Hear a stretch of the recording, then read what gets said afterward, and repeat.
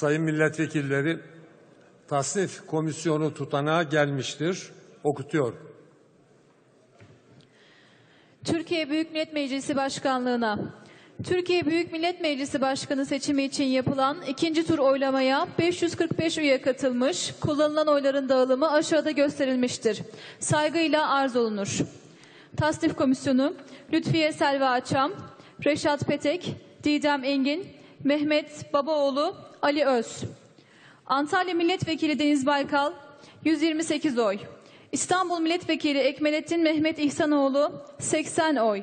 Mersin Milletvekili Dengirmir Mehmet Fırat 80 oy. Sivas Milletvekili İsmet Yılmaz 256 oy. Boş yok. Geçersiz bir oy. Toplam 545 oy.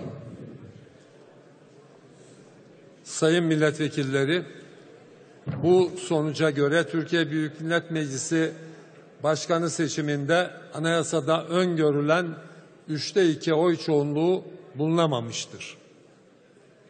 Alınan karar gereğince Türkiye Büyük Millet Meclisi Başkanı seçiminin 3 ve 4. tur oylamalarını yapmak için 1 Temmuz 2015 Çarşamba günü saat 15'te toplanmak üzere birleşimi kapatıyor.